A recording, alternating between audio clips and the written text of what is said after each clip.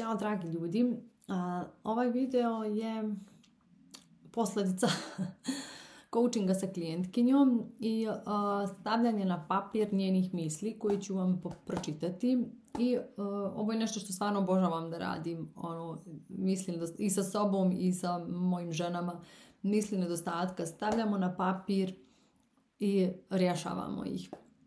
Zašto ovo radimo? Zato što ne želim da nosite te svoje misli nedostatka u svoju svakodnevnicu, u svoju porodicu, u svoje odnose, u način na koji se pojavljujete na mreži, u tome kako pričate, komunicirate sa klijentima o vašoj ponudi.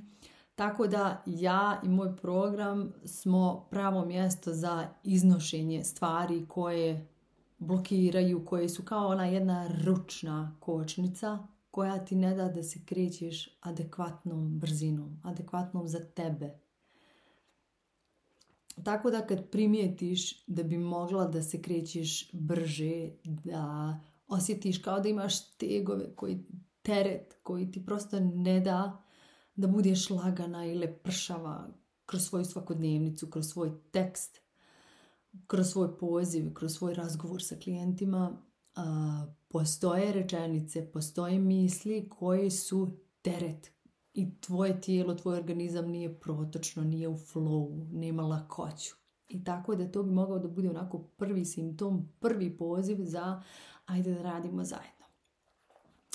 Um, šta me motivisalo ovo, klijentica mi je prvo rekla ti nekako imaš mir djeluje mi kao da se ne stresiraš, kao da nisi užurbana, kao da nekako si ono lagana, znači lakoće, kao da si lagana. To imaš što mi djeluje kao da ja nemam.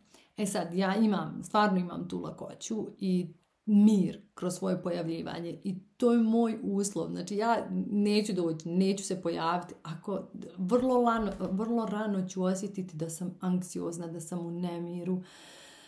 kao da Znaš, ono kao da stavljaš termometar u vodu za bebu, za prvo dijete ćeš ono staviti termometar, vidjeti da li je voda odgovarajuća. Za drugo dijete ćeš krenuti laktom da pipaš da li odgovara ta voda. Za treće dijete osjetiš teksturu vode, osjetiš njen miris, osjetiš njenu temperaturu da dijete već može unutra bez da ti provjeravaš na ovih sto različitih načina kad smo usklađeni sa sobom, kad znamo da slušamo tijelo, da čujemo anksioznost na vrijeme, mi pravimo pauzu, zaustavljamo sve radnje i pitam šta je.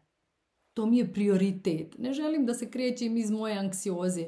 Ne želim da moj nemir upravlja mojim životom. Želim da ga adresiram odmah kad me pozove. E to je nešto što vremenom naučimo da radimo paralelno dok nemir izlazi. E, misli. I onda sam ja pitala, ok, šta tebe sprečava da ti budiš u miru kad kreiraš? Koje rečenice ti imaš koje moraš prvo da riješiš da bi tek onda bila u miru. I pazi ovo što sam, šta, to sam i njoj rekla. Znači, prvo ima listu ovih misli koje mora da riješi, jer kad njih riješi, tek tad će dobiti onu unutarnju dozvolu da se pojavi, pozavi klijenta na rad i ono, šta već sljedeći. Prva naravno, znači nisam dovoljno nešto. Brza. Nisam dovoljno brza i zato ne prodajem. Šta znači dovoljno brza? Znači kad izbaciš, sad možeš izbaciti paralelno s ovim, možeš izbaciti svoje rečenice. Šta je ono što ti misliš da zašto ne prodaješ? Zašto ne prodaješ dovoljno efikasno? Zašto nema klijenata? Šta misliš zašto? Samo ispiši ti rečenice. Evo ovako, tu će znači biti nekih 7-8 rečenica, ne više. Te rečenice te sprečavaju da se pojaviš onako autentično kako imaš kapacitet. Onako kako možeš. Kako stvarno imaš kapacitet, samo što nisi toga svjesna, nisi otkrila taj svoj kapacitet. Imaš ga, imaš ga, samo ga nisi svjesna. Kao da sjediš na kovčegu od milion dolara, milion dolara je unutar kovčega, ti sjediš u njemu i tražiš kako da ih zaradim, gdje da ih nađem, gdje, da li one uopšte postoje, sjediš na njima E to je isto ona unutarnja vrijednost, unutarnje samopouzdanje, unutarnja moć, unutarnji kapacitet. Tu je. Obećavam ti da je tu. I moj posao kao kouča je da ti to vidiš. Ja to vidim, a moj posao je da ti to vidiš. Kako ja to vidim? Nije da imam super moć, nego sam samo naučila da vidim kod sebe. Tako da nisam dovoljno brza u odnosu. Pazi sebe kad pišeš ove rečenice. Pazi u odnosu na koga. Dovoljno brza kao ko. Koga si stavila da je brži od tebe. Ko ima rezultate kakve želiš, brzinu kakvu želiš i sad se ti krećeš, ušla si u njegovu traku, trčiš njegov maraton, a ne svoj, usklađen sa svojim mišićima, sa svojim kapacitetom, sa svojim stanjem organizma. I odavde dolazi nezadovoljnost. Ko je ovaj? S kim se uspoređuješ? I pokušavaš da budeš bolja ova verzija, a ne prihvatiti ovu verziju i uskladiti se sa njom. Tad je brzina tačno dovoljna. Fali mi inspiracija.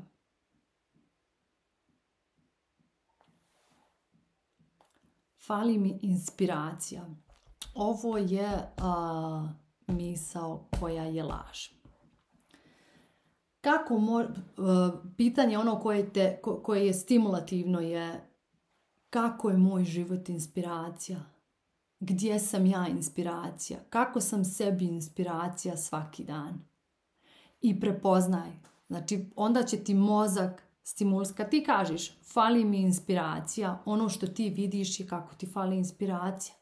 Nema inspiracije. Tvoj mozak prosto funkcioniše na to da ti daje dokaze te misli koju si upravo pomislila.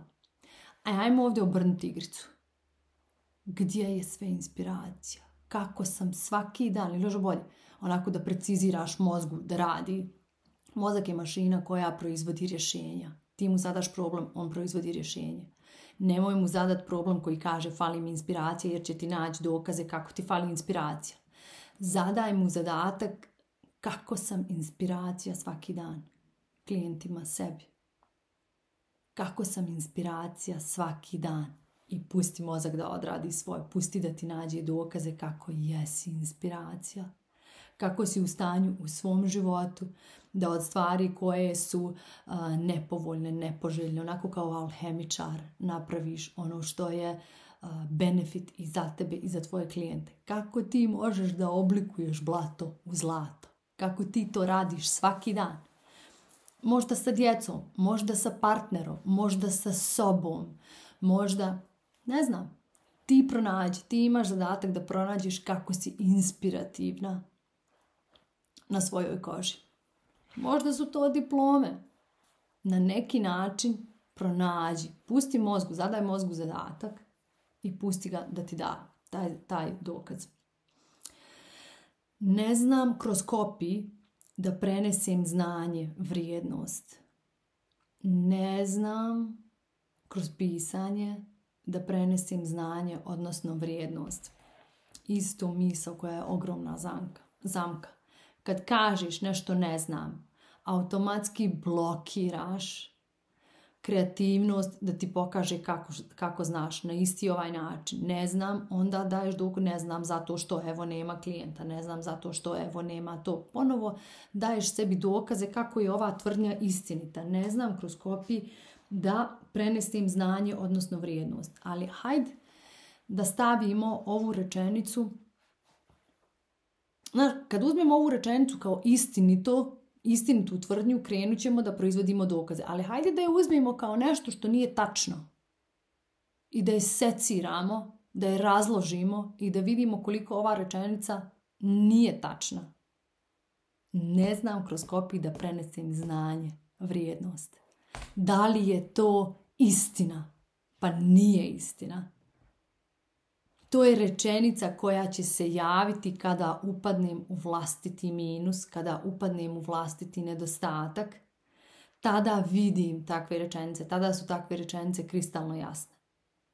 Međutim, kad se suočim i šta uradim, kad se desi ta rečenica, izađe ta rečenica i onda se osjećam loše zbog te rečenice jer vjerujem u njenu istinitost. A kad prepoznam prisutno sa tim, zato je ovo pisanje toliko dobra stvar, izbaci ono što te muči na papir, napiši svojih deset rečenica zašto nema klijenata, zašto nema prodaje, zato što tu, tu, tu, tu, tu. I onda riješi deset rečenica i pojavi se čista, oslobođena od tereta od tih deset rečenica. Tako da, ne znam kroz kopiju da prenesem znanje da li je ovo istina. Ili ako jeste istina, kako da naučim efikasnije da prenosim znanje kroz kopiju.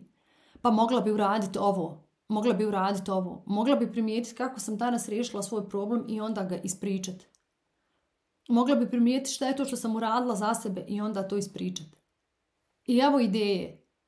Ali samo je potrebno primijetiti da postoji ta rečenica da se ušunjala, da te muči i da ima utjecaj na tebe i da sve vrijeme pokušavaš da je riješiš, a ne rješavaš problem svog klijenta. I izvoli uzmi ovu rečenicu i riješi je za klijenta. Ako je ti imaš, ima je i on. Pomoćeš i sebi i njemu. I dalje šta je uh, ono što se nadovezalo, gubi mnogo vremena. Gubiš mnogo vremena kad rješavaš stvari. Ovo je teretno. Ove rečenice koje rješavaš, tu gubiš vrijeme. Ti kad si fokusirana da daš vrijednost, kad nemaš tu rečenicu, šta, mi je nadovezala, znači ovo se sad prisjećam coachinga, ovo što ja imam da kažem nije zanimljivo, ima tu rečenicu. Ovo što ja da, da kažem, znaš, već je rečeno, to svi mogu da izgooglaju. Neću reći ništa novo, ovo već svi znaju, ove stvari se podrazumijevaju. Kad god imaš te rečenice, šta sam joj na ovo rekla? Um, ja uopšte nemam te rečenice.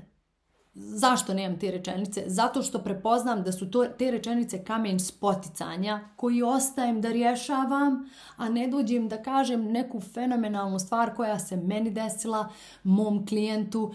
A, I isto ta misao, ovo što ću vam reći je dosadno, vas ne interesuje. Ti imaš pravo da odeš za, za svojim životom kad ti je dosadno i ako te ne interesuje ovo što govorim. Nisi vezana za stolcu i ono, znaš, ušima moraš da slušaš. Imaš pravo da odiš u svakom trenutku.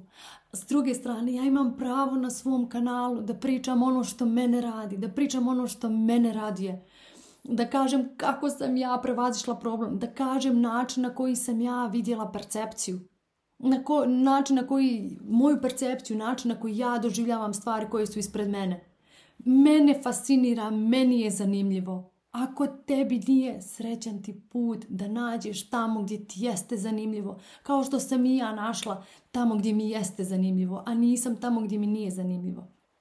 A, ovo sam pričala klijentici, išla sam u šetnju sa sestrom i njenom bebom, ona je u onom kenguru i a, pored mene je išla moja čerka Tara i prišao nam je pas onako dosta veliki, ima ogrlicu i tako i nekako nježno i polako prišao i sad djeca su se odmah povezala sa njim, bilo nam je lijepo, pas je krenuo da šeta pored nas onako kao, kao da je naš.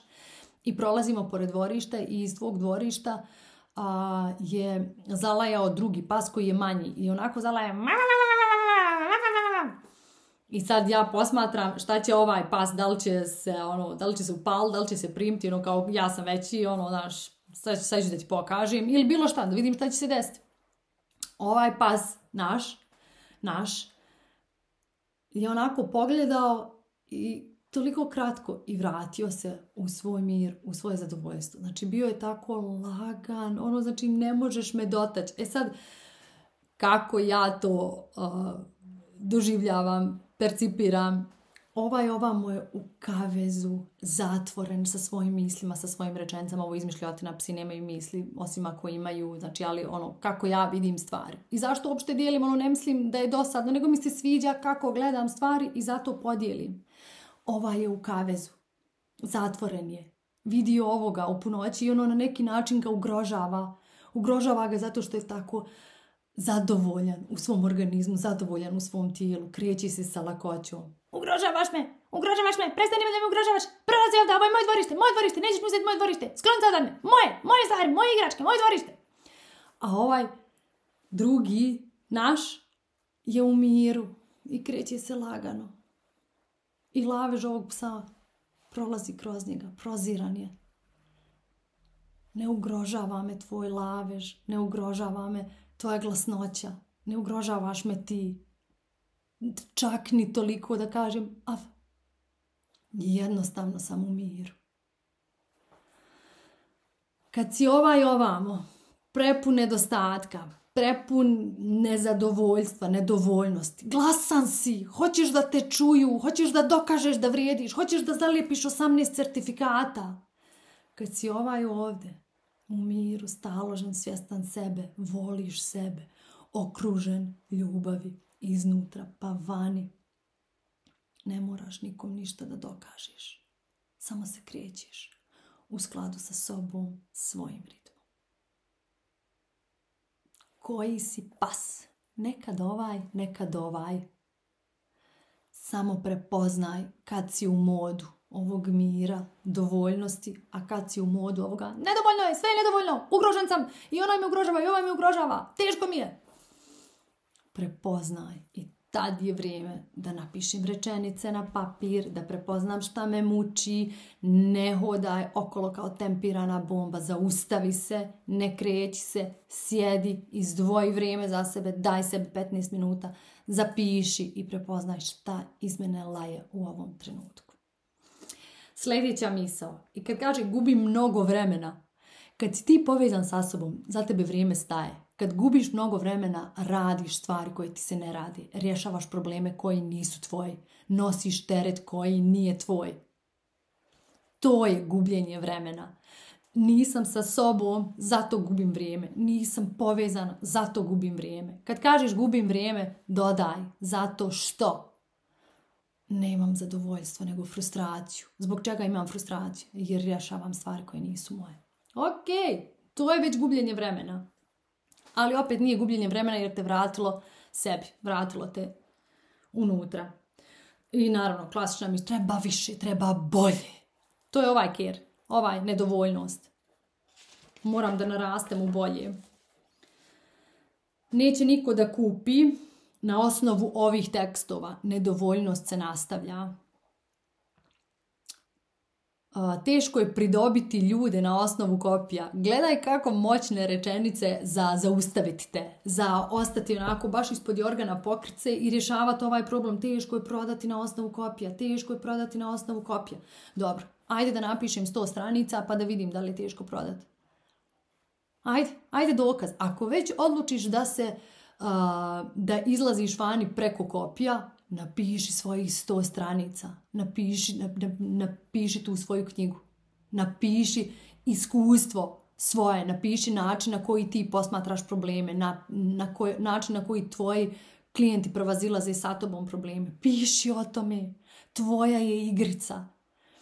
Dok god vjeruješ da moraš da igraš igricu prema tuđim pravilima, da bi imala tuđe rezultate, gubiš povezanost sa sobom gubiš povezano sa sobom. I zato je mnogo važno znati uzeti nečiji savjet, uzeti ga, progutat ga, filtrirat ga, probavni sistem da ga obradi i da izbaci vani ono što nije tvoje, a da zadrži ono što je sa čime rezonuješ, ono što je spada u tvoju autentičnost. Ne uzmaj savjete od svakog zato što misliš da ćeš tako biti bolja verzija tog nekog. Tvoj zadatak je da budeš bolja verzija sebi. Sebi. Ali ne iz nedovoljnosti, nego iz prihvatanja sebi. Kretanje iz prihvatanja sebe. Već je dovoljno, već te volim, već, već, već imaš sve što ti je potrebno. Kad se krećeš odatle, tad je lakoća. I to je to. I ovo sam ja napisala, pošto govori upadnem u objašnjavanje. Objašnjavanje je kompenzacija nedovoljnosti. I prepoznaj to kod sebe. Kad upadneš u objašnjavanje, bez da je neko drugi postavio pitanje. Drugo je objašnjavanje kad ti svom klijentu približavaš na ovaj način i na ovaj način. To je druga stvar. Ali kad objašnjavaš da bi riješila svoju vlastitu nedovoljnost, jer dolaziš iz mjesta, teško je pridobiti ljude na osnovu kopija. E, tad kreniš da objašnjavaš i objašnjavaš zašto bi trebalo da radite sa mnom. Evo i zašto bi još trebalo da radite sa mnom. I onda je to i ubjeđivanje i objašnjavanje i nešto što na kraju krajeva ne želiš da radiš, ne želiš da sjediš i objašnjavaš, ne, ne želiš da tako izgradiš svoj biznis. Ono što želiš je svoj autentičan izraz. Tad je tvoj biznis čista radost. Tad je tvoje pojavljivanje za klijenta kroz mreže čista radost. Tad je to stanje prisutnosti. Kao atletičarka trči prisutnost u svom tijelu, pokret. Svjestan svakog pokreta, ruke, noge, čvrstine mišića, čvrstine leđa. Kreće se. I gle, evo nas na cilju. Ne žuri. Ne idi brže od sebe, od svog nervnog sistema. Osluškuj gdje si. Povezuj se sa onim što izlazi iz tebe, što pričaš. Ako želiš dublje na ovome da radiš, slobodno se pridružimo u mjesečnom grupnom coaching programu. U linku ispod imaš prijavu koju možeš da popuniš i vidimo se već u četvrtak na coachingu. Ponesi ove misli na prostor, u prostor koji je siguran da ih daš, da ih izbaciš iz sebe, ne da se krećeš s njima kao da su ti onaj ruksak prepun kamenja i ono tvoj zadatak je samo da ojačaš mišiće i bit će ti lakše da nosiš ruksak prepun kamenja. Ne. Ajmo izbaciti kamenje iz ruksaka pa da vidimo kako ćeš se tako kretati. Pa možda ćeš tad potrčat, možda će se tad promijeniti tvoja brzina jer dolazi iz unutarnje lakoće, iz unutarnjeg dovoljno je. Ovo je kako želiš da se pojaviš i za sebe i za klijenta ispred sebe i dovoljno je. Baš tako kako jeste. Uf, olekšanje. Ok, hvala vam na prisutnosti i vidimo se ili u programu ili ovdje. Ćao!